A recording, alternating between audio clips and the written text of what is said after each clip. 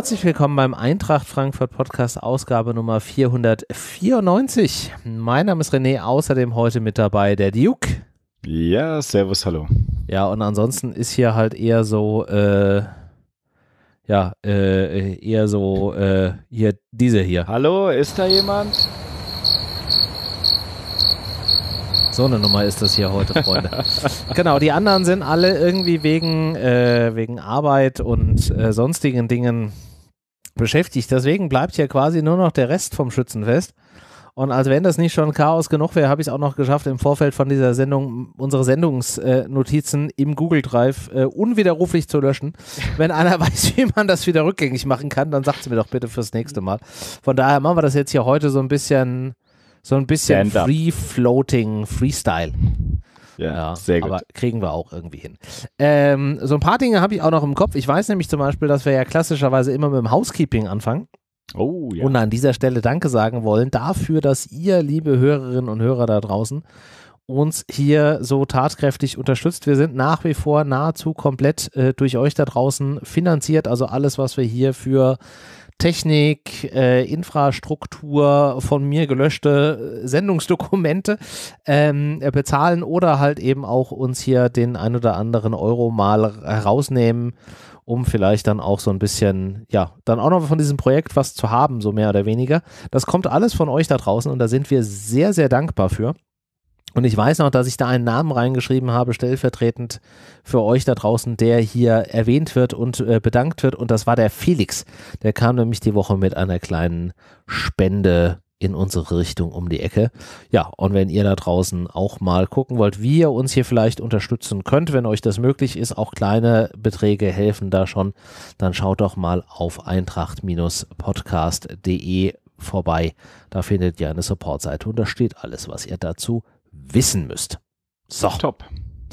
Ja, dann lass uns da jetzt mal über Fußball reden und ich glaube, wir machen das jetzt einfach mal so, wie wir das in der vergangenen Vergangenheit, in den vergangenen Wochen wollte ich eigentlich sagen, ja, das öfteren gemacht habe, nämlich hier fallen, fangen mit dem jüngsten Ereignis an und das war ja das Pokalspiel am äh, Dienstagabend, 18 Uhr, spielte die Eintracht auswärts in der zweiten Runde des DFB-Pokal bei den Stuttgarter Kickers, äh, gewinnt das Spiel am Ende mit einem, ja, ich würde schon sagen, soliden 2-0 oder 0 zu 2 dann eben, um es korrekterweise zu sagen, war jetzt nicht das ansehnlichste Fußballspiel der jüngsten Zeit. Ich fand es aber trotzdem irgendwie sehr charmant, weil ich fand die Atmosphäre halt irgendwie geil. Also ich habe es jetzt nicht im Stadion, also ich war nicht in, vor Ort, sondern ich habe es jetzt nur am Fernsehen gesehen. Aber so diese Atmosphäre aus dieses kleine Stadion, du hast die Fans gesehen, die nah am Platz waren, es war laut, also laut für die Verhältnisse, es war halt ein kleines ausverkauftes Stadion. Ich weiß auch nicht, wen die da als Kommentator bei äh, hier äh, Sky beziehungsweise äh, Wow äh, hatten, aber das war auch, der war auch so stimmentechnisch so, wie man früher Fußball geguckt hat. Ich habe mich so ein bisschen an so Fußball aus den späten 90ern erinnert gefühlt. Kleine, enge Stadien, volle Hütte, äh, eine ganz so eine besondere Art von Stimmung, ekliger Rasen, das Ding war irgendwie so Acker-like. Beide Mannschaften haben irgendwie auch so vom, vom Kicken war das auch so ein bisschen Ende der 90er Fußball. ähm, es war halt irgendwie eine schöne Atmosphäre bin ich voll bei dir, René. Also alles, alles richtig unterschreibe ich komplett oldschool. Äh, äh, ja, wirklich eine feine Sache. Fußballerisch auf dem Platz, äh, hast du auch schon richtig gesagt. Da können wir sicherlich gleich in der zweiten, an der zweiten also, Stelle ein bisschen dazu kommen. Ja. War schon teilweise etwas Armut, aber äh, ja, man muss sagen, äh, ansonsten, das, äh, ich war leider auch nicht vor Ort, aber was man auch so mitbekommen hat und äh, ja, ich, ich sag mal so, wenn der äh, Stadionsprecher dann ja auch, wenn der auch derjenige derjenige, der es ähm, moderiert hat, war ja auch dann entsprechend der klassische Ausdruck, oh, etwas südländische Atmosphäre, als ja dann äh, beide Lager da auch äh, das halbe Stadion nochmal in Brand gesetzt haben. Das ist natürlich was. Was, was aber auch irgendwie ja. wieder cool gewirkt hat und dann hast du so diese einzelne verlorene Seele dann da im Fanblock der Kickers gesehen, der alle fünf Minuten da mit dieser Pyrofackel einfach gewedelt hat. also ich fand's einfach so gut. Es, es, war auf jeden Fall mal wieder angenehm und diese ganzen Diskussionen, die sonst immer so hochgehypt und ach, die Bösen und Dings. Und es war irgendwie war es ein schönes Fußballfest, auf jeden Fall. Man hat gemerkt, Stuttgart hatte richtig, also Stuttgarter Kickers hatten richtig Lust auf uns, dass wir da kommen und ja, im Endeffekt das Spiel, äh, ja, spielerisch die ersten 20 Minuten, ich sag mal, äh, zwei Tore gemacht, alles prima, äh, Hausaufgaben erfüllt, äh, Sternchen gibt's äh, sicherlich nicht dafür, aber äh, ja, am Ende muss man sagen, wie oft sind wir in letzter Zeit dann auch schon in frühen Runden äh, jetzt dann doch ausgeschieden. Ja. Deshalb muss man ja wirklich sagen, die Hausaufgaben haben sie gemacht, die Sou Souveränität war teilweise auch äh, gegeben, konsequent am Ende Ah, ich erinnere mich dann noch an den einen Pfostentreffer von Boré, glaube ich, war es gewesen. Oh, der ähm, Kerl, der, also ist halt bitter. Der ne? tat einem schon irgendwie so ein bisschen leid. Er hat sich halt ja. gerade auch in dem Spiel, er hatte ja jetzt wenig Einsatzzeiten. Da gibt es ja jetzt auch diese von, die auch Glasner bestätigt hat, eben, dass man da jetzt spricht. Er hat echt viel gearbeitet, fand ich. Er hat viel mit zurückgearbeitet. Auch, er hat ja auch das 1-0 von Moani dann quasi mit vorbereitet also er hätte es halt schon irgendwie verdient gehabt, dieses Tor zu machen und er will das halt sehr genau machen und schiebt das Ding dann da an den Pfosten. Also ich hatte an der Stelle schon Mitleid mit ihm. Passt halt zur Gesamtsituation, wie Boré momentan eben ja, im Kader angekommen ist. Oder bei der Eintracht momentan die Form. Es passt irgendwie alles zusammen, dass das Ding dann auch nicht reingeht. Aber gut, am Ende zum Glück absolut nicht spielentscheidend. Ja. Jetzt sind wir aber wieder beim Thema bei Stuttgarter Kickers kannst du dir sowas leisten. Auch dass die Spiele, es wurde ja auch, da muss man wirklich sagen, hat man schon gemerkt, dass viele mal einen Gang zurückgeschaltet hatten. Was mich gewundert hatte, war tatsächlich etwas die Aufstellung, dass so Wieso? wirklich so wenig rotiert wurde. Ja, aber ich sag mal so, Glasner hatte ja schon im Vorfeld gesagt, dass die Spieler fit sind und dass die auch wollen. So, jetzt spielst du Dienstag im Pokal, jetzt spielst du Samstagabend spät genau, genau in der Liga. Dann hast Gladbach. du in der Woche drauf Mittwoch die Champions League. Also da ist ja Zeit zum Regenerieren durchaus dazwischen. Und dann ist es halt schon aus meiner Sicht eine Abwägungssache zwischen wie viel Energie geht jetzt da verloren hin zu Spielpraxis. Ne? Wenn wir jetzt auch wieder an dem Thema sind, dass Bleiben wir ja jetzt nicht wirklich irgendwie großartig unter der Woche trainieren können, außer halt eben Vorbereitung auf den Gegner und so ein bisschen Kleinigkeiten. Du kannst ja jetzt nicht wirklich großartig an Automatismen arbeiten. Dann ist natürlich so ein Ding schon auch drin, gerade auch wenn du sagst, okay, du musst sowieso auf bestimmten Positionen notgedrungen wechseln, ne? Durch den Hasebe-Ausfall, jetzt Jakic in der Defensive, können wir gleich nochmal drüber sprechen, wie ich das finde. Ja. ja. ja. Dann in Nebimbe auf rechts, weil da hast du natürlich auch damit auch keine Alternative und den, den du halt bislang auf rechts spielen hattest, nämlich Jakic, den brauchst du jetzt in der Innenverteidigung. Damit hattest du ja schon zwei Änderungen vorprogrammiert. Ähm, so, dann hat jetzt Indika noch eine Pause bekommen, weil man vielleicht auch gesagt hat, okay, wir wollen auch den Smolcic, falls wir den mal brauchen, dem auch so ein bisschen Spielpraxis geben, weil der hat ja bislang auch noch nichts gespielt. Der hatte irgendwie zwei oder drei ähm, hier Einwechseleinsätze, der hatte vielleicht irgendwie 10, 12 Minuten Bundesligaspielzeit bislang. Also, äh, so, der muss ja dann da auch mal ein bisschen laufen. Dann kannst du natürlich richtig, jetzt auf nicht auf den anderen Positionen auch noch großartig irgendwie durchrotieren. Ne?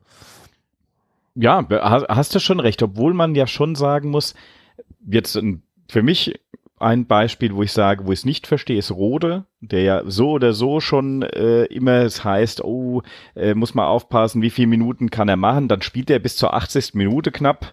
Äh, das ist einfach für mich äh, eine Situation, wo ich sage, das ist ein Körper, ja. der muss eher geschont werden. Da hätte ich gedacht, es wäre auch mal was gewesen, wenn Rode mal ausfallen sollte in den nächsten Spielen, weil sowas ist, hätte man vielleicht auf der Position auch noch mal ein bisschen mehr ja, vielleicht was, was ja, auch, Verrücktes ausprobieren Ja, aber auch können. da ist dann die Frage, was wäre denn dann deine Alternative? So, Kamada wäre dann so die erste Alternative, die mir einfällt und auch für mich gerade eher tendenziell die Doppelsechs, die ich gerne sehe, weil Kamada, und da können wir ja dann auch ähm, nochmal drüber sprechen, wenn wir gegen, gegen Leverkusen sprechen, auch da ja ein super Spiel gemacht. Auch gerade in der Defensive hat er sich nochmal enorm gesteigert.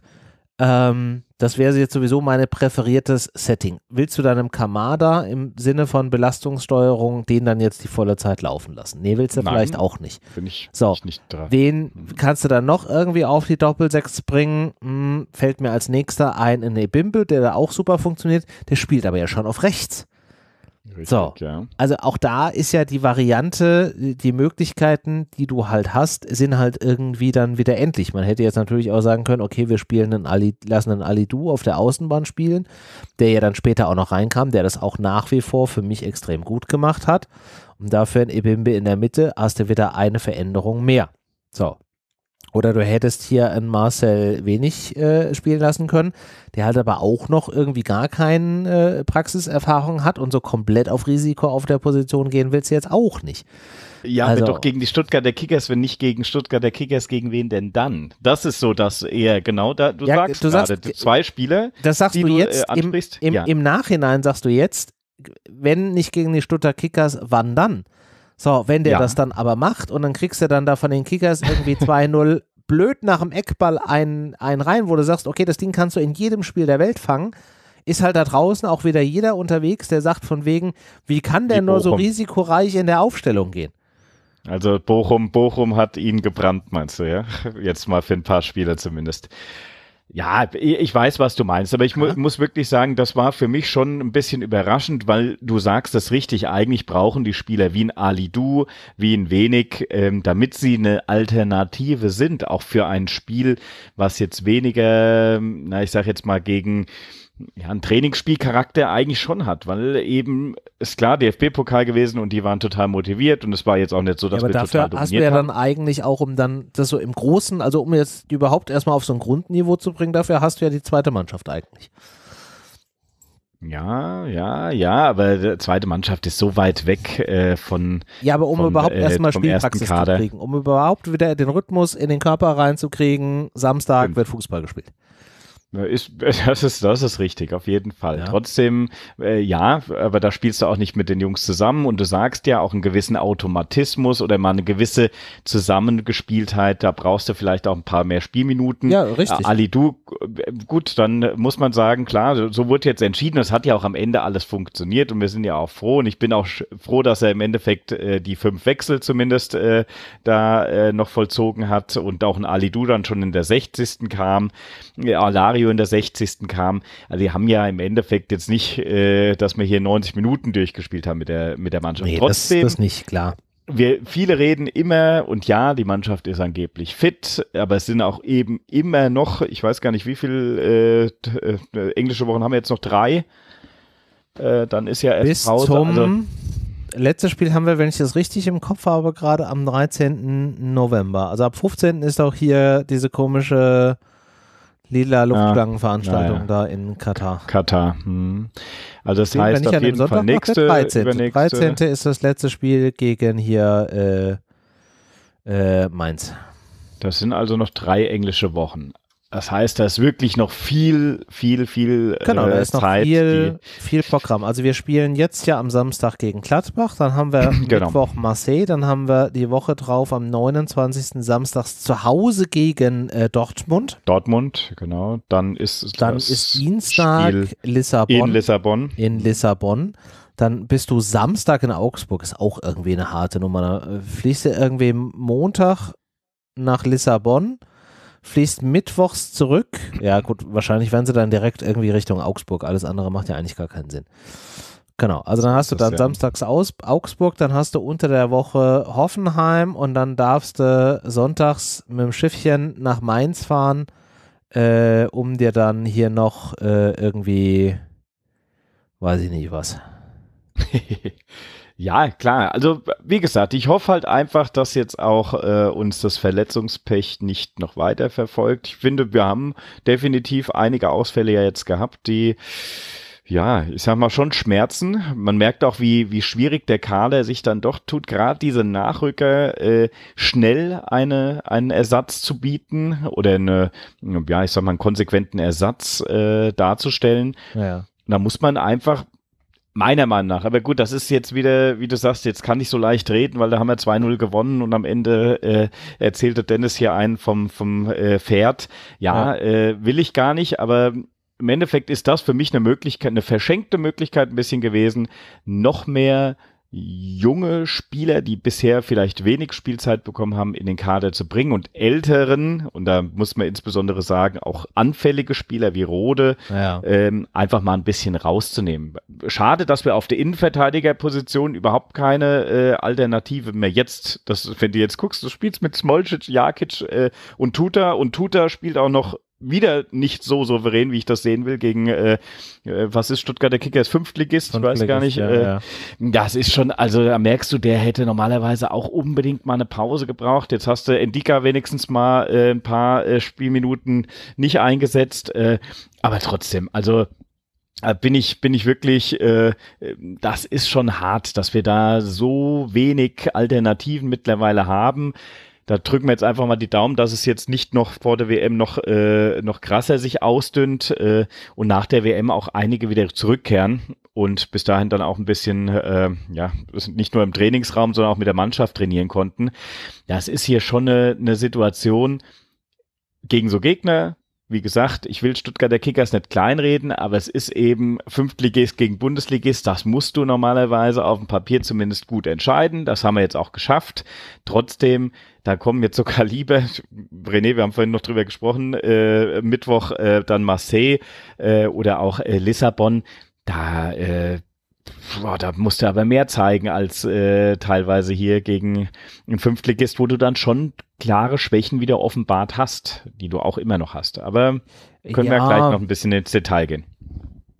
Also ich hatte jetzt ja nicht das Gefühl, dass das jetzt äh, großartig gegen, gegen die Kickers äh, da jetzt irgendwie gefährdet gewesen ist. Ja, da war jetzt nicht, da, man ist jetzt nicht jeden letzten Meter irgendwie gegangen.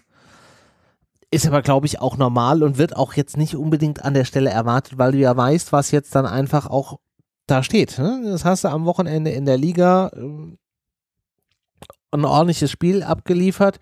Jetzt musst du halt am Samstag gegen, ähm, gegen Gladbach ran. Gladbach. Da willst du natürlich jetzt auch nicht irgendwie was verschenken und so. Also das war für mich schon, schon okay und ich glaube, das ist auch jedem bewusst dass man da ähm, in den an, gegen die anderen Gegner da jetzt mit so einer, ich nenne es jetzt mal zurückhaltenden Leistung äh, nicht unbedingt punkten kann, aber wie du ja auch zu Recht gesagt hast, auf dem Papier war die Nummer ja sehr eindeutig. So, von daher, ja, ja, ich will das jetzt auch nicht so hoch hängen. Und das ist auch definitiv, du sagst es, man merkt ja auch, dass die Spieler ja allen Gang mal zurückgeschaltet haben und äh, entsprechend ja auch mal eher der Querpass als äh, der Steilpass gespielt wurde. Alles gut. Ja gut, die Kickers sind jetzt auch nicht unendlich angerannt. Die werden halt auch, also genau. auch nachvollziehbar. Mein Gott, sie haben es natürlich immer mal wieder probiert. Da war natürlich auch der Wunsch da, da jetzt irgendwie ein Tor zu machen, aber am Ende merkst du halt auch, okay, ein Klassenunterschied ist vorhanden. Die müssen ja dann auch durchaus noch in der Liga äh, punkten. Die wollen ja auch aufsteigen. Da wirst du jetzt auch nicht in der 99. oder in der 89. Minute noch irgendwie auf Biegen und Brechen den Vollsprint von einer Hälfte zur anderen irgendwie ansetzen. So, also von ist daher so. war Was das schon. Was man auch okay. sagen muss, ist, das Tor Kolomoani insbesondere ist natürlich ein Tor, was du auch gegen eine deutlich bessere Abwehr, klar, hast du dann vielleicht nicht den Platz, musst du das vielleicht noch ein bisschen mehr erkämpfen, aber es war natürlich hervorragend rausgespielt. Das war also ein sehr die Kombination, Wahnsinn. Und äh, auch der Smolcic-Kopfball, äh, äh, das sind einfach Tore, die kannst du auch gegen einen äh, viel stärkeren Gegner machen. Und ja, äh, gerade ja gut, dann war es entschieden und dann hast du nochmal zwei Gänge zurückgeschaltet. Alles gut gerade auch das Smolcic-Ding, dass du halt einfach sagst, okay, ähm, ein Tor nach einem Standard, das war sein erster Startelf-Einsatz, er hat sich das auch mehr als verdient. Der macht es auch clever, sich da irgendwie im Schatten von dem Abwehrspieler da durch. Der wollte ganz genau dahin, in der vollen Hoffnung, dass der Ball da auch wirklich hinkommt und er hat das echt solide gemacht. Also von daher kannst du da halt auch gegen die Tore absolut nichts sagen. Nee, äh, auch wie du sagst, Standards und Tore machen, probates Mittel auch sicherlich für äh, dann andere Gegner. Und äh, wie gesagt, sie werden nun mal nicht schwächer äh, auf dem Papier äh, und äh, in Realität dann wahrscheinlich noch äh, viel krasser. Deshalb, also ich muss jetzt wirklich sagen, äh, halten wir uns gar nicht zu lang wahrscheinlich jetzt noch mit dem Stuttgarter Kickerspiel auf. Es war auf jeden Fall, äh, wirkte äh, am Fernsehen hat man äh, konnte man es von der Atmosphäre her äh, schon ein bisschen, ja, ich fand, aufsaugen und hat gesagt, Mensch, das erinnert einen ja wirklich hier, du sagst es 90er Jahre, äh, cool. Irgendwas. Ich fand's Hat cool. einfach Charme. Ja, Hatte einfach hat Charme. Sowas von. Sowas von, ja, und wenn man äh, schöne Spiele sehen will, dann wuss, weiß man ja, wo man hingucken muss. Dann hatte man ja das Spiel vom äh, vergangenen äh, Wochenende äh, Schöne gegen, gegen Leverkusen. Ähm, Samstagmittag. Ja, man wusste, dass Leverkusen seit Ewigkeiten nicht mehr, oder ich glaube sogar noch nie im Waldstadion gewonnen haben, maximal unentschieden gespielt und trotzdem auch immer wieder, äh, ja, ähm, so ein bisschen Angst trotzdem davor gehabt, wie dieses Spiel am Ende des Tages ausgehen kann.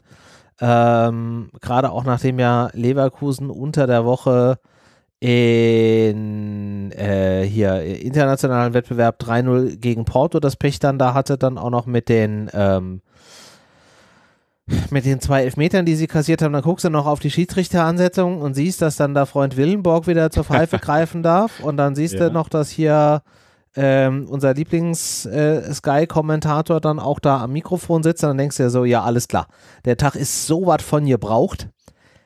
Am Ende des Tages war er auch gebraucht, nur halt für die andere Mannschaft, nicht?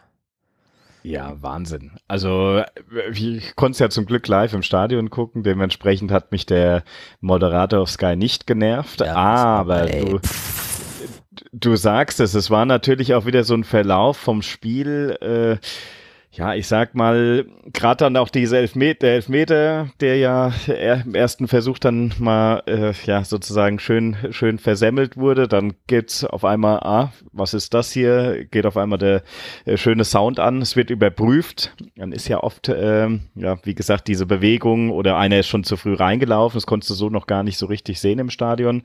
Und dann wird er wirklich wiederholt. Und dann muss man ja sagen, René, das war eigentlich die, eine der geilsten Szenen überhaupt. Kamada, der einfach sich das Ding schnappt und sagt, ich zeig jetzt mal, wie ein Elfmeter geschossen wird. Und das ja dann auch Ja. gleich zweimal. Ist natürlich schon, da zeigt der, der, der schüchterne, ähm, der immer gesagt wird, der schüchterne Japaner, der erst noch zeigen muss, dass er Führungsqualitäten hat. Also da muss man wirklich sagen, Also wow. ich, ich, weiß also auch gar, ich cool. weiß auch gar nicht, ob er sich wirklich den Ball genommen hat. Ich, für mich hatte es mehr so ein bisschen den Eindruck, und das fand ich auch prinzipiell die, eine gute Entscheidung, dass dann Moani da gesagt hat, so, nee, ich mach nicht. Also, ne, normalerweise würde es ja dann sagen, der Schütze, der vorher geschossen hat, schießt nochmal.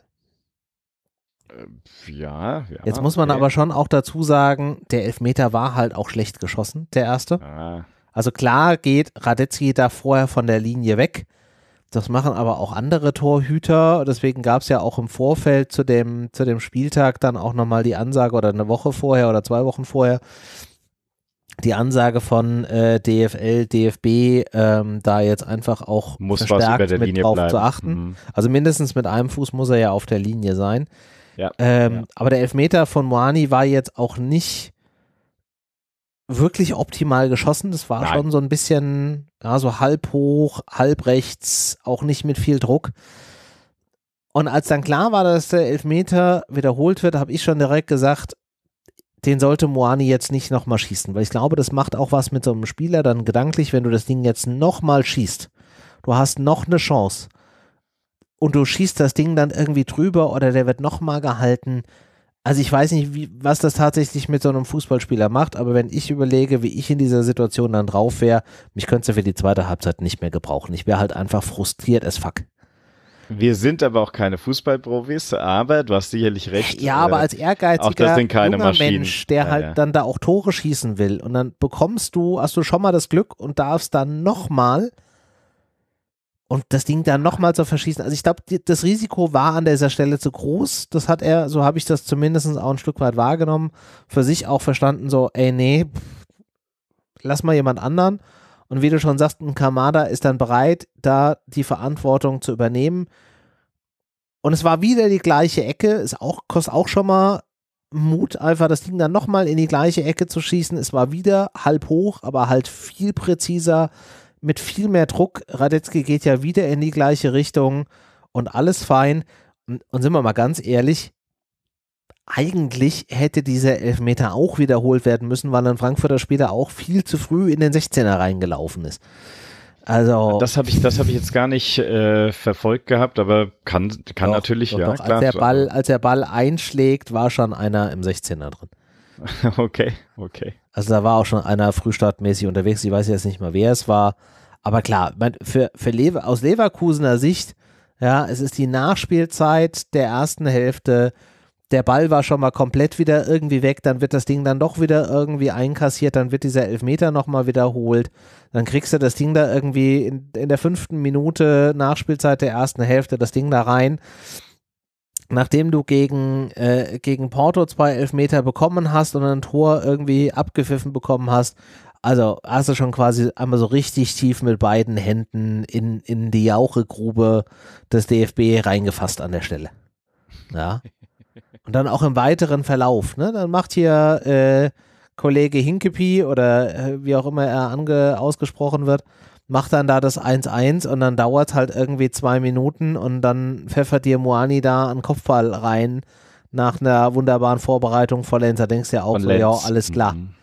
Haben wir, haben wir verstanden. Und dann fangen sie an, dich reihenweise auseinanderzunehmen. Ich weiß nicht, was mit Lindström los ist, aber dieses 3-1, das war ja mal, oi, oi, oi.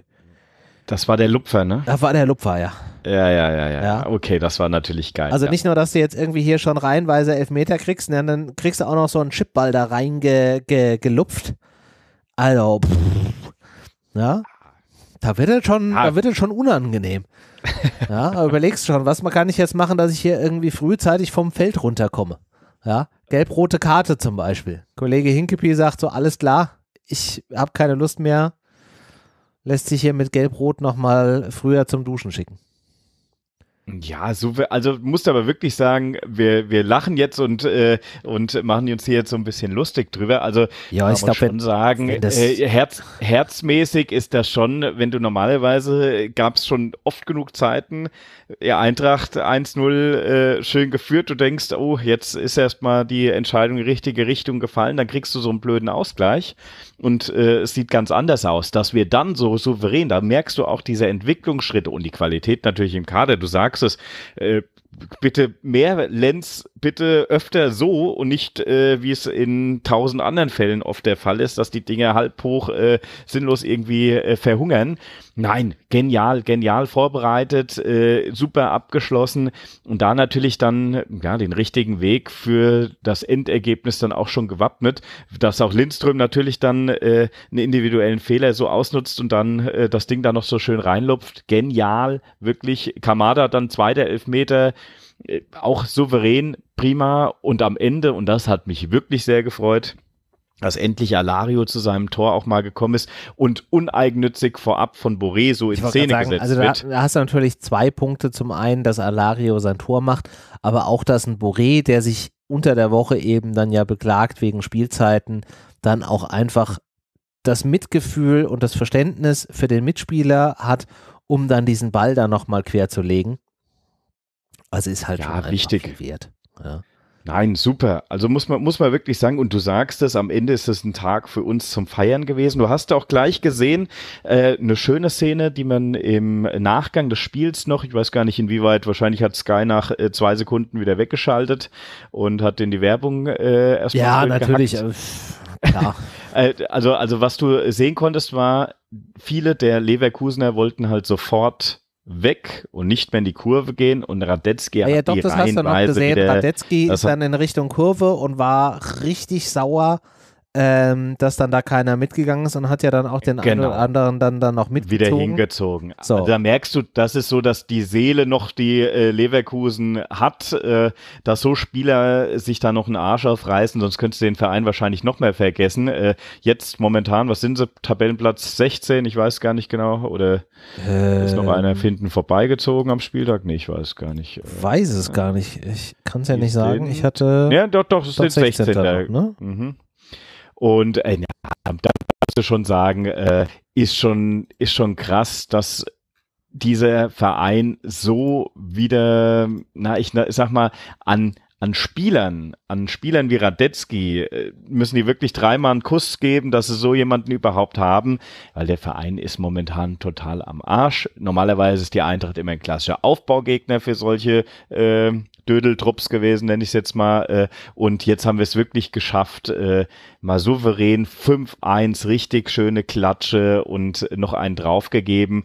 Wunderbar, freue ich mich, dass die Eintracht diesen Entwicklungsschritt auch endlich gegangen ist und einfach souverän auch dieses, wie gesagt, blöde Unentsch äh, erstmal Ausgleichstor wegzustecken, zwei Minuten später einfach dann das 2-1 zu machen. Das zeigt, wir sind wirklich mittlerweile auch mental und äh, so angekommen, dass uns nicht mehr sofort jede Kleinigkeit aus dem Konzept bringt. Und das, obwohl wir, und das darf man nicht vergessen, auch bei dem Spiel ja schon erheblich äh, umstellen mussten, weil ja auch die anderen nicht zur Verfügung standen eigentlich. Ne? Also ähm, unsere, unsere typischen Außen, sage ich jetzt mal, äh, waren ja da schon äh, nicht Genau, mehr also du dabei. hast ja schon an der Stelle auch mit einem mit einem Jakic in der Innenverteidigung gespielt, der, wie ich das fand, im Vergleich zu den letzten Spielen, die er da als Außenverteidiger gemacht hat, ein echt solides Spiel gemacht hat. Ja. Ich fand diese Position und diese Rolle da hat ihm viel besser gelegen. Du hattest einen Lenz auf den Außen und du hattest da auch schon eine Bimbe auf der Außen, der mir ja schon in der Variante, wie es dann gegen, gegen Tottenham dann ja auch äh, war, schon sehr gut, Gut gefallen, gefallen hat, ja. wie er Mhm. da auch durchaus Betrieb gemacht hat. Wie gesagt, meine favorierte Doppelsechs aus So und Kamada finde ich immer geiler. Und allein, wenn ich halt sehe, wie ein, ein Kamada in der 85. Minute diesem Sprint ansetzt, um dem Leverkusen-Spieler hinterher in der, in der Fluggrätsche dem den Ball wegnimmt und dann quasi mit der Hacke den Ball noch vorm Aus dann rettet und dann da wieder ins Feld zurückbringt. Also, heu.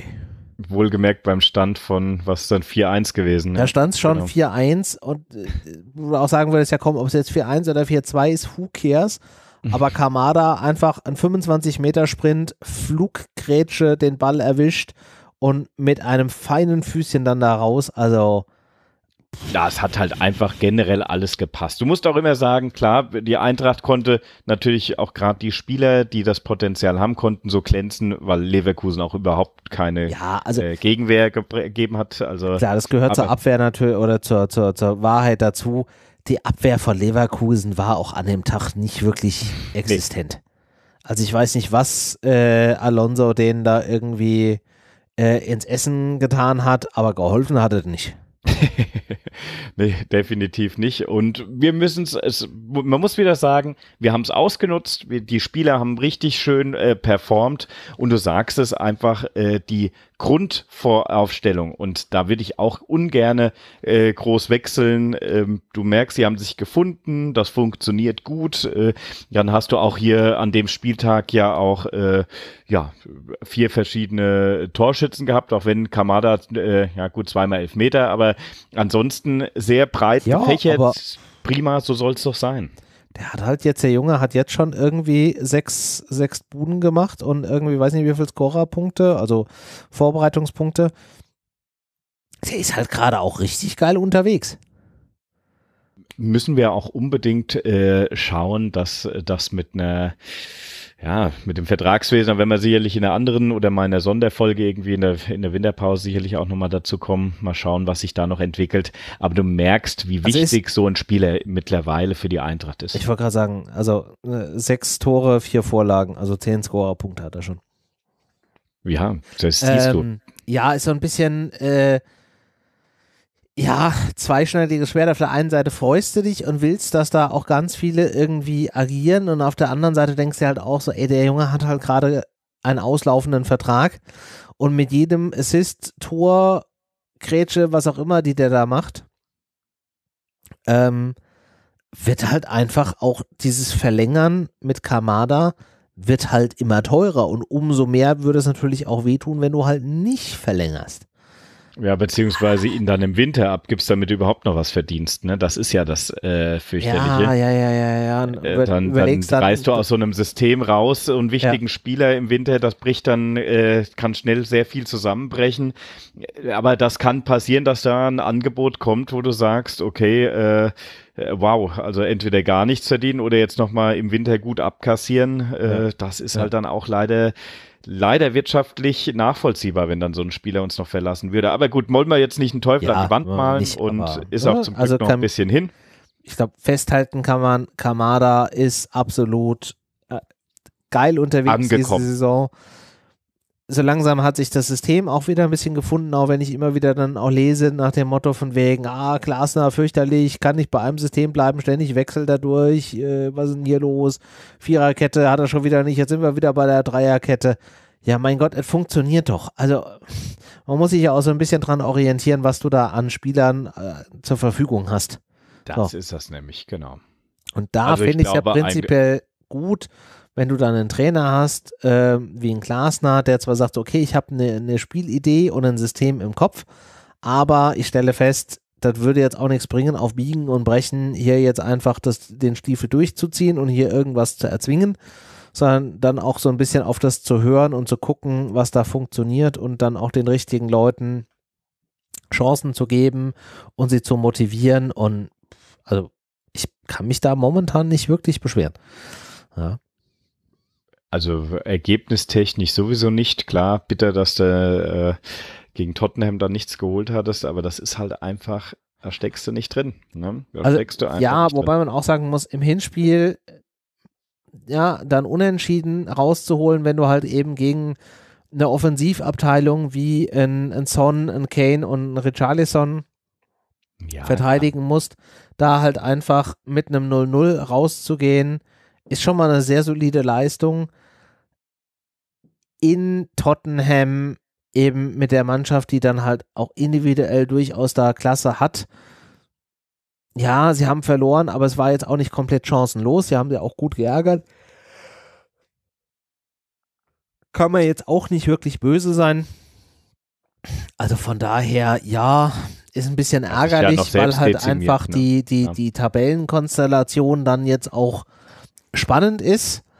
Aber ja, mein Gott, wir spielen Champions League, wir spielen gegen Tottenham in einem Pflichtspiel, die halt einfach einen Kader haben, der immer noch drei, viermal so teuer ist wie unser Kader. ja, klar. Also war jetzt nur so, dass äh, von den letzten Spielen, oh. klar hätte ich jetzt noch den Super-GAU Bochum auspacken können. Aber, ja, gut, aber äh, nee, alte das, Kamellen, da das machen wir, wir haben einen Haken mal. dran da gemacht. Da machen wir jetzt mal einen Haken dran, genau. Genau, äh, dementsprechend, ähm, nein, jetzt müssen wir einfach schauen, wir spielen überall noch mit. Wir haben auch überall die Möglichkeit. Das ist ja das Verrückte. Wir können immer noch, äh, haben alle Chancen, ne, auch in der Champions League noch weiterzukommen. Also ja. im Moment ist es doch wirklich, es macht richtig Spaß äh, und das Spiel am Samstag, ja, was ein bisschen schade war. Jetzt muss ich eine Sache nochmal hier sagen, ja. war wirklich die, ähm, mm, ich sag mal, die Besuchsmoral der Fans, äh, ja. die, äh, also es war sehr, sehr äh, schwach teilweise besucht, muss man wirklich sagen. Leute, die eine Dauerkarte haben, viele Plätze äh, frei geblieben. Äh, auch im Steher war unglaublich viel Platz, äh, muss man wirklich sagen, was ja auch eher untypisch okay. ist. Äh, von der Zahl her war es, glaube ich, gar nicht so schlecht besucht äh, von der offiziellen Zuschauerzahl. Hast du aber auch gesehen, also haben eindeutig viele ihre Dauerkarte an dem Tag nicht eingesetzt. Ähm, nee, wirklich, wirklich schade, wirklich ein bisschen, ähm, ja, respektlos ist der falsche Ausdruck, aber äh, Leute, das ist äh, auch sowas, nicht nur Europa fahren, bitte äh, auch äh, ist zwar schön und gut, aber bitte auch die Bundesliga, auch wenn ein Club kommt wie Leverkusen, wäre es schon schön, wenn äh, voller Support und die Hütte voll ist.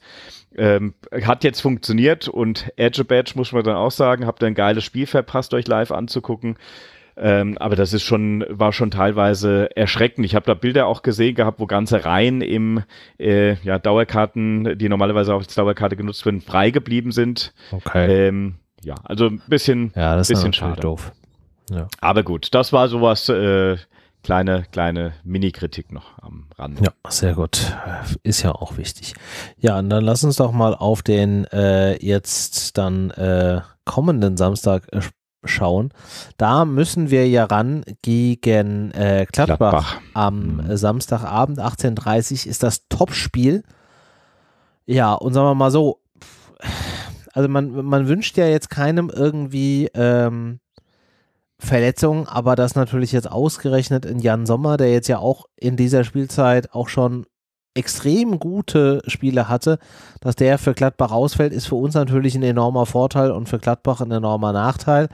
Ähm, der Ersatztorhüter Sippel hat jetzt, glaube ich, auch sehr wenig bis gar keine Spielpraxis, stand ja jetzt unter der Woche schon ähm, gegen Darmstadt im Tor. Da ist ja dann auch Gladbach aus dem Pokal ausgeschieden. Also ist, glaube ich, für uns dann schon durchaus von Vorteil. Die haben ja auch eine relativ lange äh, Verletzungsliste und das dann jetzt ausgerechnet im Sommer noch mit dazu kommt, jetzt glaube ich auch mit einer Sprunggelenksverletzung. Das heißt, der wird jetzt auch wahrscheinlich ein paar Wochen irgendwie ausfallen. Also das Okay. hilft jetzt einer, einem Gladbach, die jetzt auch nicht auf so einem idealen äh, Tabellenplatz sich aktuell befinden. Ähm, glaube ich auch nicht gerade weiter. Wobei, nee, Gladbach ist Sechster, ne? No, die sind direkt hinter uns. Ich wollte es gerade sagen, die sind Sechster, ein Punkt dahinter. Also Äh, ich muss da- sagen, äh, Vergiss, was ich gesagt habe. Da war ich jetzt gerade irgendwie gedanklich woanders. Aber, aber du, du hast recht. Ähm, also das ist unser Glück. Äh, ein, Jan Sommer ist bestimmt auch äh, jemand, der äh, per gute Leistung äh, zeigt und entsprechend ein guter Rückhalt für Gladbach ist. Also wenn sie schon, äh, gerade auch wenn Sippel jetzt nicht viel Spielzeit hatte und so weiter, das ist auf jeden Fall was, wo wir unseren Nutzen draus ziehen sollten. Ja. Trotzdem muss man auch wieder sagen, die Eintracht kann, wenn sie einigermaßen performt und einigermaßen an ihre Leistungsgrenze rankommt, mit dem Kader, der ihr zur Verfügung steht, auch Gladbach locker mit Ja. denen mithalten.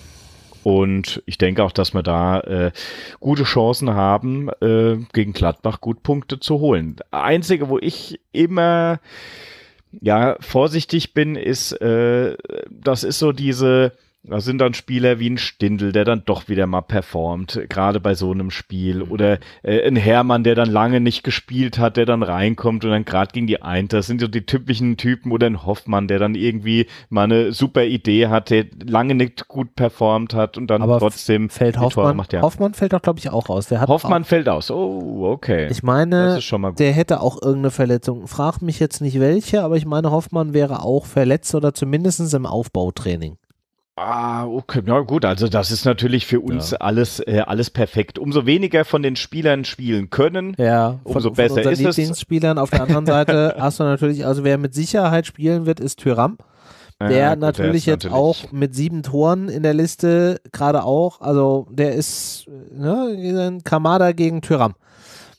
Also das, mal, mal gucken, wo dann hier mehr Tore fallen. Das äh, könnte auf jeden Fall interessant werden.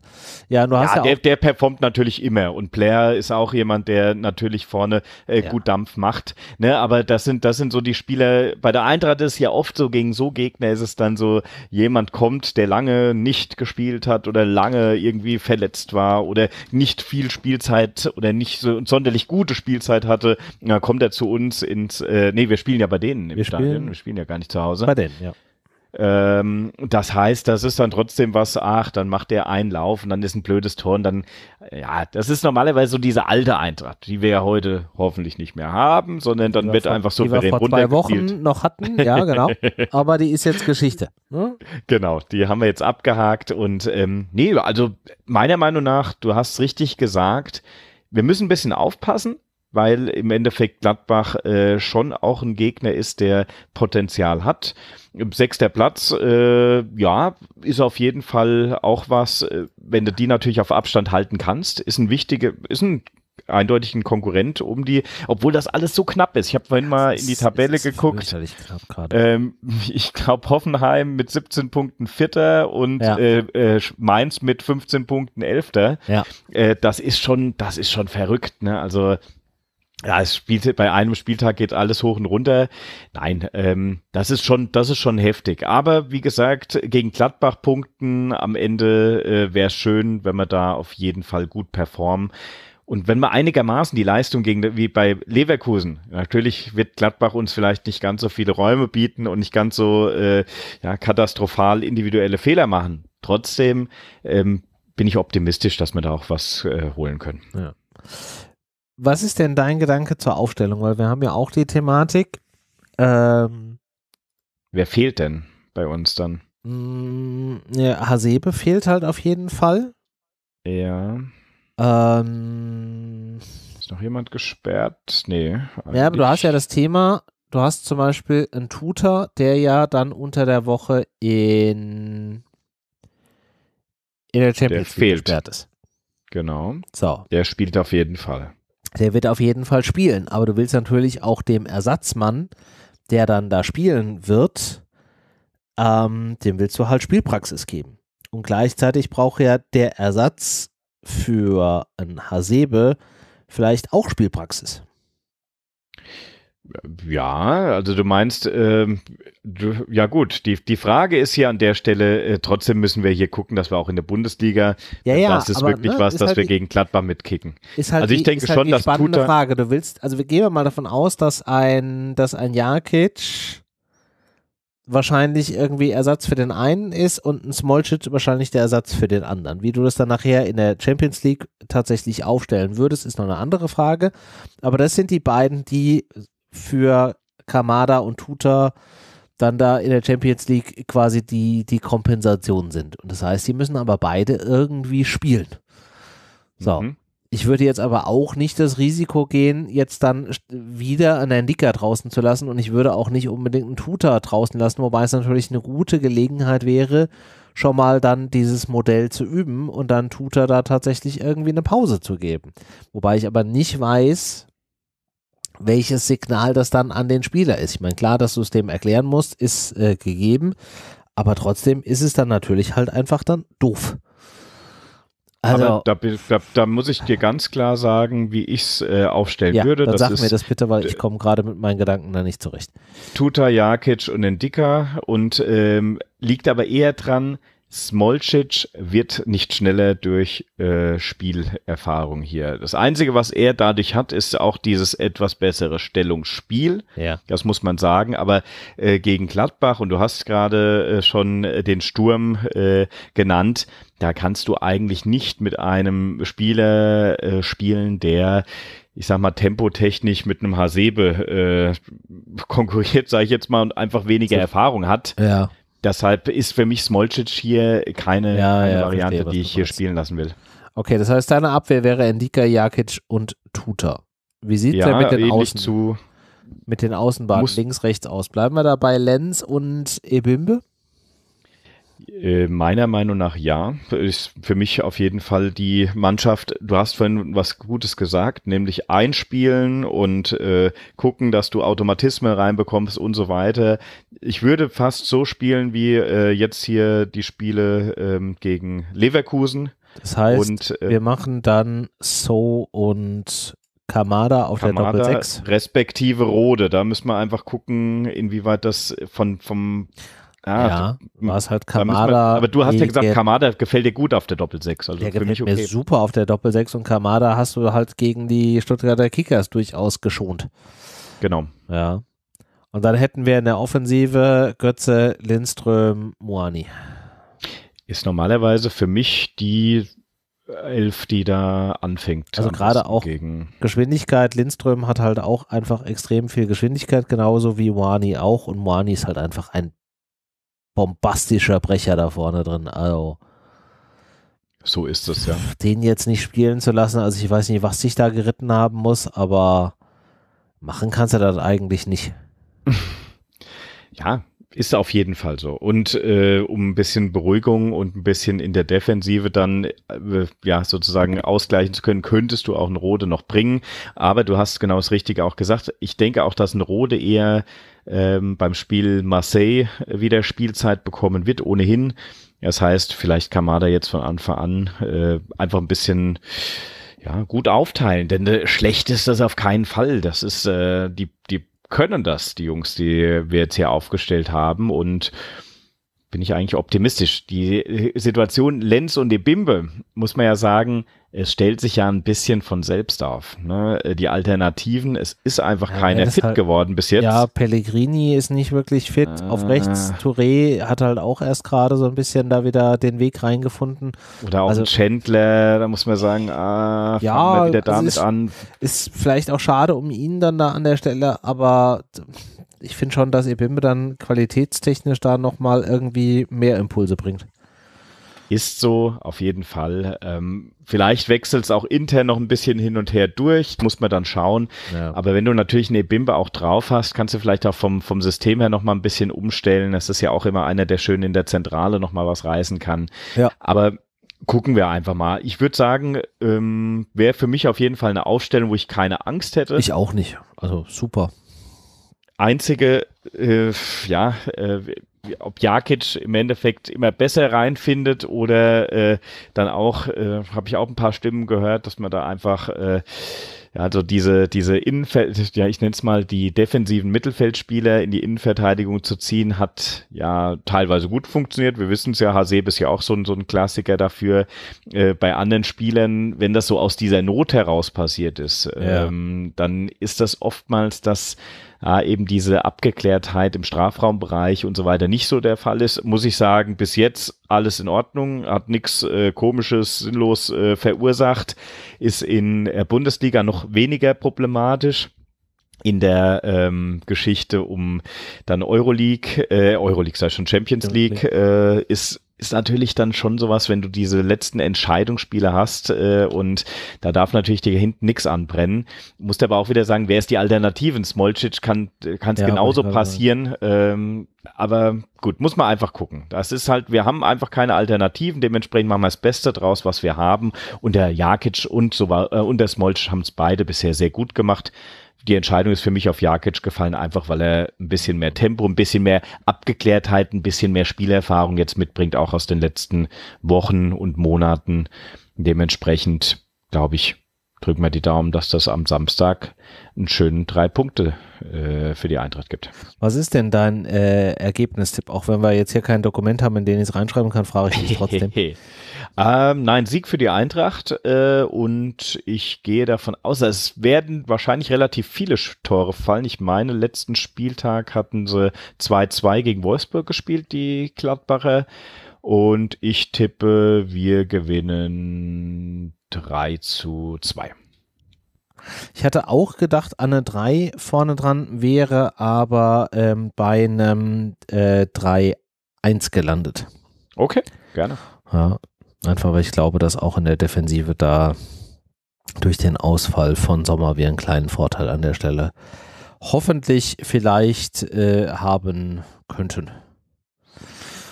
Würde mir gefallen, auf jeden Fall. Also guck mal, wie lange war Gladbach das große Vorbild der Eintracht. Oh Gott, wären wir nur so weit wie Gladbach. Ja, Gladbach ja, ist so ja. toll. Und heute sagst du, ja, Gladbach ist okay, aber Gladbach ist schlagbar, wenn du einfach einigermaßen deine Performance bringst. Ja, ja. Das, ist, das ist schon, das ist schon ein Entwicklungsschritt. Wahnsinn.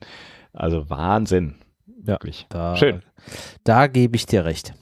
Ja, dann lass uns doch vielleicht noch äh, kurz auf das Spiel da am kommenden äh, Mittwoch, Mittwoch, gucken, mhm. weil wir werden es ja vorher nicht schaffen, hier nochmal eine Sendung aufzunehmen. Ja, Mittwochabend, äh, du hast es gerade eben schon angesprochen, jetzt kommen die Entscheidungsspiele äh, in der Champions League. Es geht los Mittwochabend 21 Uhr zu Hause, das Rückspiel gegen ähm, Olympique Marseille.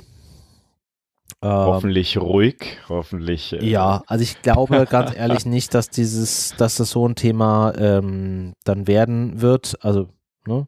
Wir hatten es ja schon nach dem, nach dem Hinspiel von Marseille besprochen, dass das schon andere Menschen sind, die da auswärts fahren, als die, die ja. da zu Hause unterwegs sind. Oder sagen wir mal so, die, die da zu Hause so einen Stress gemacht haben, die werden wahrscheinlich primär jetzt nicht auswärts fahren. So habe ich das zumindest bislang verstanden. Ähm. Und es ah, halt hoffen wir einfach, weil das wäre natürlich ein super GAU. Ne? Also ja, auch gerade, wenn dann eine Reaktion von uns kommt, äh, kann nur für alle äh, schädlich sein und dementsprechend. Also glaube ich, glaube ich nicht. Ruhe bewahren. Was ich aber schon glaube, ist, dass das auf dem Feld ein, ein durchaus äh, äh, offenes Spiel und ein, ein hart umkämpftes Spiel werden wird, jetzt nicht in Form von von Fouls, wobei schon auch, glaube ich, da der ein oder andere auf beiden Seiten dabei ist, der auch gerne einfach mal so ein bisschen robuster in so einen Zweikampf geht. Aber dadurch, dass halt einfach beide Vereine schon noch irgendwie eine Möglichkeit haben und du musst halt Marseille jetzt einfach zu einem gewissen Grad dann da auch so mit auf Distanz halten, wird das halt schon einfach herausfordernd. Also da wird viel Stimmung im Karton sein, auf den Rängen, aber auch ähm, auf dem Feld. Das also du musst halt einfach gucken, dass du da von Anfang an, meiner Meinung nach, sehr konzentriert unterwegs bist. Ähm, du darfst dir da wenig Fehler erlauben. Ja, darfst dir in der Champions League generell keine Fehler erlauben. Das haben wir ja mittlerweile gelernt, dass das eiskalt Ja, aber ich glaube in dem Spiel sogar noch einen Ticken weniger. Bin ich voll bei dir und du hast was ganz Wichtiges angesprochen ah, Spiel ist unglaublich wichtig für uns, auch im, Ver äh, im direkten Vergleich dann am Ende. Ne? Wenn es, es ist so eng, unsere Gruppe. Es ist so ein, äh, ja, ich sag mal, du musst so oder so eigentlich gewinnen damit du überhaupt noch eine Chance hast. Dann hast du, dann ist das ja mit dem direkten Vergleich sowieso gegessen äh, an der Stelle. Trotzdem ist für mich äh, ja das wird eine harte Nummer, das wird eine harte Nuss. Äh, ärgerlich ist immer noch das äh, aus der Champions League das erste äh, 3-0 gegen, gegen Sporting. Da haben wir halt ein bisschen ja. Lehrgeld bezahlt ja, äh, ja. beim ersten Spieltag. Das ist halt leider so. Ja. Müssen wir jetzt alle äh, durch. Äh, Hinspiel 1-0 gewonnen, allen noch bekannt. Äh, ist natürlich richtig geil gewesen. Daran äh, ansetzen. Ich denke auch, dass wir ein bisschen, ja, das macht schon auch denen dann wieder Angst. Den, das ist immer schön, wenn du äh, ja das Hinspiel gewonnen hast. Wir haben ja auch wirklich, äh, ja, ich sag mal, die besten Voraussetzungen, wenn du jetzt mit einfach noch einem Sieg gegen Gladbach am Wochenende da äh, reinrollst und dann wird das so ein bisschen äh, analysiert und dann heißt es, ah, die Eintracht, die hat momentan Lauf. Die haben jetzt hier äh, 5-1 gegen äh, Leverkusen gewonnen, haben, sind im, äh, im nationalen Pokal weitergekommen, haben hier am Wochenende auch wieder gewonnen und dann das. Das ist normalerweise auf diese äh, Hype-Welle musst du einfach jetzt drauf und dann hast du, glaube ich, auch äh, sehr, sehr gute Chancen, da dich in eine unglaublich gute ähm, Situation zu bringen, ja. weil mit einem Sieg, du hast es gesagt, René, ziehen wir auf jeden Fall an Marseille vorbei. Wir ziehen auf jeden Fall an Marseille da vor, vorbei. Parallel spielen äh, Tottenham zu Hause äh, gegen Sporting. Da ja. ist für mich auch klar, wer da der Favorit ist. Ja, also jetzt gehen wir mal davon aus, was ja durchaus nicht unwahrscheinlich ist, dass ein Tottenham da gewinnt und wir gegen, gewinnen gegen Marseille, dann stehen wir auf Platz 2 in der Tabelle ja. und spielen dann ja. eine Woche später in Sporting Sport. mhm. um ja, alles oder nichts. Ja, ja, ja, ja, ja, ja. Also du kannst das halt in es. diesem Spiel dann in Sporting Platz 2 und damit weiterhin eine Runde Champions League, Platz 3 und damit weiter im Europapokal oder halt Platz 4, was halt quasi der Tonk ist. Ist le leider in Anführungszeichen ist noch alles möglich. Ähm, ist toll ja eigentlich, dass wir uns so gut in unserer ersten Champions League Saison seit äh, ja überhaupt äh, es ist im Endeffekt eine eine tolle, tolle Situation, dass wir es gegen die Mannschaften Marseille und Lissabon noch in der eigenen Hand haben und dass wir jetzt die Weichen gegen Marseille stellen können, denn ich muss dir wirklich sagen, ich glaube, dass wir hier was holen können, dass der, dass der, dass der momentane Formschnitt auch bei vielen Spielern in die richtige Richtung geht ja. und die Formkurve ähm, wirklich gut, gut aussieht und dementsprechend ja, macht das klar jetzt vor dieser e-, elendigen Winterpause und dann spielst du im nächsten Jahr einfach noch ein bisschen international. Und ich bin der Letzte, der, der am Ende dann äh, schimpft, weil wir es nur auf Platz drei geschafft haben. Platz vier wäre wirklich bitter. Ja, es wäre halt Platz echt zwei wäre ärgerlich, natürlich Wobei du dich genial. auch bei, bei Platz drei, ganz ehrlich, bei der Gruppe, wo wir jetzt dann einfach auch gesehen haben, da ist alles offen. Also wenn du dir die anderen Gruppen anguckst, ist es in vielen Gruppen wesentlich eindeutiger Schon und entschieden. uninteressanter. Mhm. Ja. Ähm, Klar. Ich glaube, ja, die Bayern sind Thema schon durch, irgendwie oder? durch Also, ist. Die Bayern sind mit ihren Ja. zwölf Punkten schon durch. Ja, doch. Also sie könnten noch auf Platz zwei irgendwie runtergehen, aber ich glaube, schlechter kann es schon gar nicht mehr irgendwie werden. Ähm, Ah ja, Neapel das ist, ist so. ist durch. In Liverpool ist eigentlich auch fast durch. Ja, die sind jetzt sechs Punkte vor Ajax. Also da passiert halt auch nichts mehr. Äh, Brügge in der Gruppe ist halt auch schon durch. Die sind sechs Punkte vor Madrid. Ja, also okay. es sei denn, ja gut, Torverhältnis, aber dafür müsste dann zum Beispiel ein Atletico Madrid müsste dann da jetzt äh, Plus zehn, 10. zehn Tore aufholen Mhm. in zwei Spielen. Ja.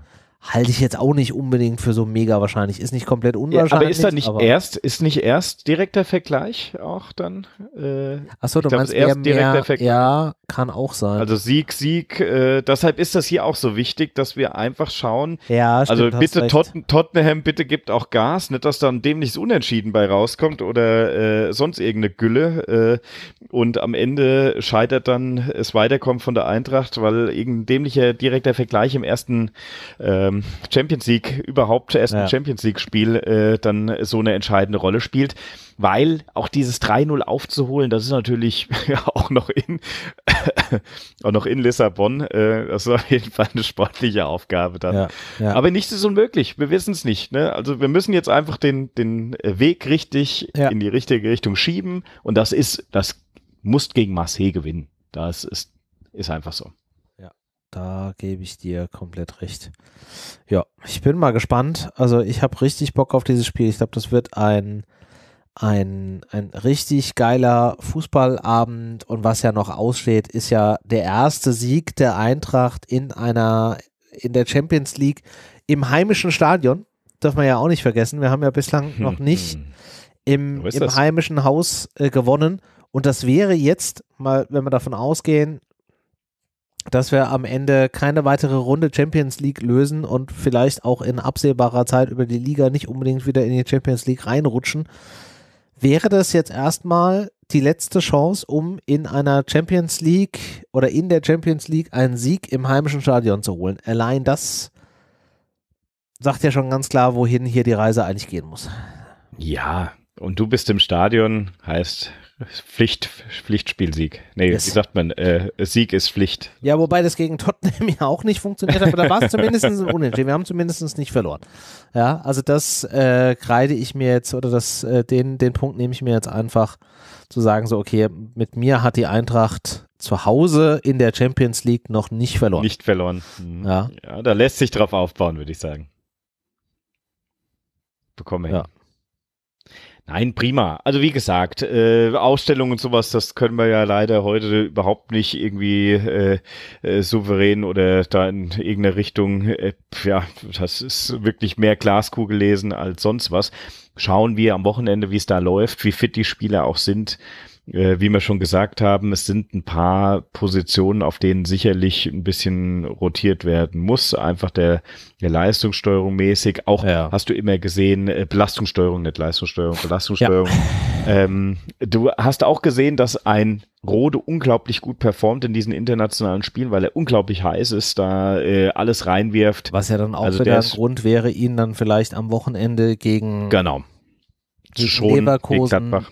Mal draußen zu lassen, dafür mit einem Mhm. Kamada zu arbeiten. Also Gladbach, nicht Leverkusen. Siehst du, es ist einfach zu spät.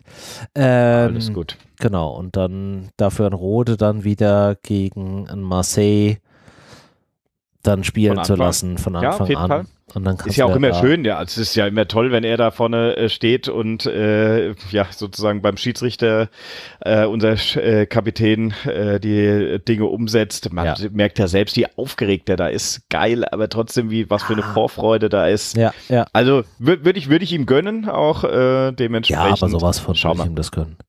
Schau mal. Yes. Aber genau, nein, ansonsten ja, äh, Sieg äh, haben wir ja schon gesagt. Tipp für dich von deiner Seite aus? Äh, oh, Tipp für mich. Ergebnistipp. Boah, tue ich mich echt schwer.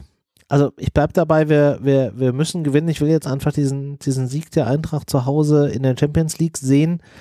Wir müssen uns die Karten offen lassen.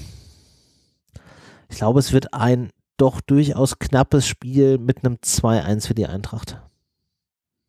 Okay.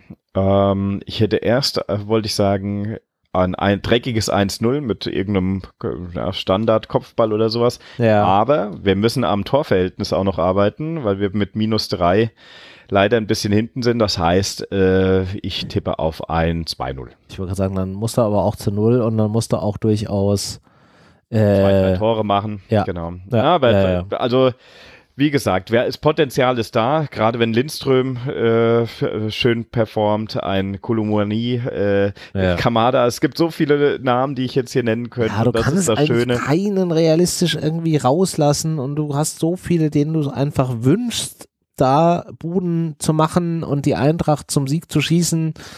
Es ist halt schon einfach eine ganz besondere Situation aktuell. Und Götze nicht zu vergessen, auch der, der mir auch leid tut, der einfach auch so wahnsinnig viel immer wieder irgendwie tut und der so kreativ ist und der einfach auch zum Teil Pässe spielt, wo ich mir denke, so ja, da sind aber deine Spiel Mitspieler sind noch nicht so weit, dass sie wissen, dass du, du da jetzt genau. hinspielen wirst. Und für den ich es mir einfach wünschen würde, dass der sich auch mal wieder mit einem Tor irgendwie belohnt und dann kommt da halt auch nichts bei rum. Also auch da bin ich sehr hin und her gerissen. Deshalb hoffen wir, dass wir in der Champions League überwintern, wir ein bisschen Zeit haben, um diese Automatismen und so weiter noch einzuspielen und dann ja. kann das noch mehr Spaß machen. Ja, ja. ja also wie gesagt, in der wir müssen jetzt einfach gucken, äh, jeden Tag genießen und äh, da fängt es auf jeden Fall in der Champions League. Nächsten Mittwoch geht's weiter und oh, das wird so gut. Das, das wird, wird so gut.